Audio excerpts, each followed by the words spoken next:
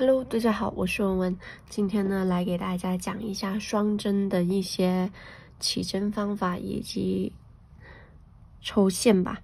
现在呢，先来抽一下线，抽四根，就这样子拿着抽就可以了，就不要捏太紧，左手这边，然后直接去抽。抽好之后呢，把那个线这四根给捋一下。两边拉一拉，然后开始起针。双针呢，顾名思义就是要两根针嘛。那先来两头起一下针，另一头呢也起一下，就这样子就起针完成。然后呢，这些边边都给留一些线就可以了。开这种针法呢，比较适合一些大范围一点的，一般这一根左右就可以弄两到三排左右吧，三四排左右吧，然后找准那个地方，就直接这样子。双针的起针方法就是特别简单的，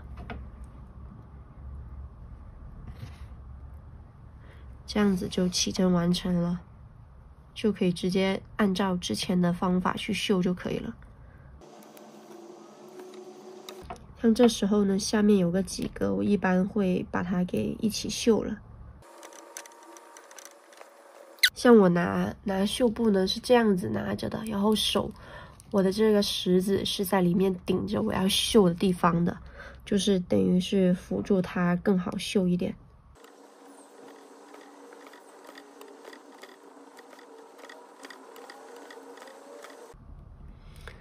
然后现在呢，就直接往回绣就可以了。像拧紧了，就这样子把线给捋一捋，给它捋顺一点就可以。然后就换另一根，然后就换另一根开始绣，就跟刚刚的方法一样。哦。像现在呢就要没了嘛，就提前这一根就不要挑了，这最后一个从这一格的中间插进来，直接再起两个就可以了，去收。